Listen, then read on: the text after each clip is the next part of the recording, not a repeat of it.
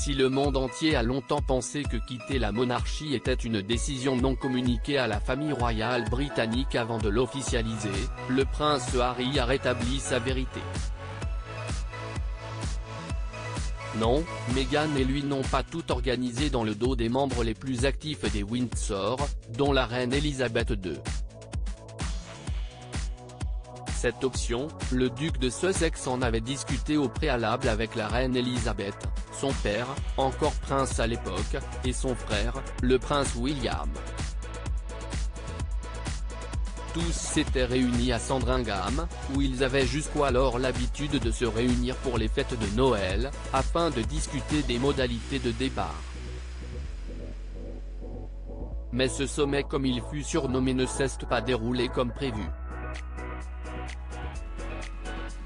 Dans les pages de ses mémoires, le papa d'Archie, 3 ans et Lilibet, 1 an, annonce que plusieurs options se sont offertes à lui. 5 pour être précis mais qu'une seule d'entre elles était en réalité déjà décidée sans qu'il n'ait vraiment l'opportunité d'y redire quoi que ce soit. L'ambiance était glaciale selon ses dires, la haine de William envers Harry étant palpable, Willy est entré et m'a regardé comme s'il avait envie de m'assassiner. La suite n'a fait qu'envenimer les choses puisqu'Harry a constaté que le clan avait en réalité déjà décidé pour lui, la famille, bien sûr, m'a poussé à choisir l'option 1.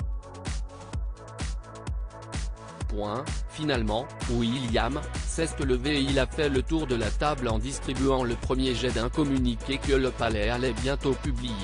Vous aviez déjà rédigé une déclaration?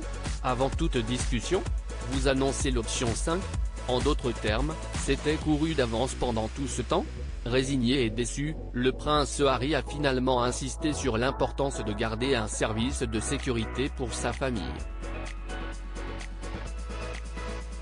Une demande complexe justement, cette garde rapprochée pour les déplacements de Meghan, Harry et les enfants pose souci.